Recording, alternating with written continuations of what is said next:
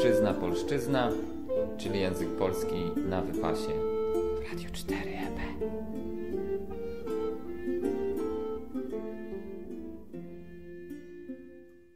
Dziś bohaterem kolejnego odcinka Obczyzny Polszczyzny jest jak zwykle piękna Christine oraz wyraz kaszana. Ale nie będzie nam chodziło o pewien specjał wędliniarski wyrabiany z krwi, kaszy i podrobów, bo slangowe znaczenie wyrazu kaszana to Wyrób o niskiej jakości, bubel, chłam, tandeta, coś nieudanego.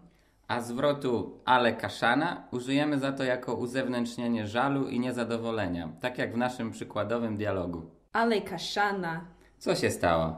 nie zdałam egzaminu z polskiego.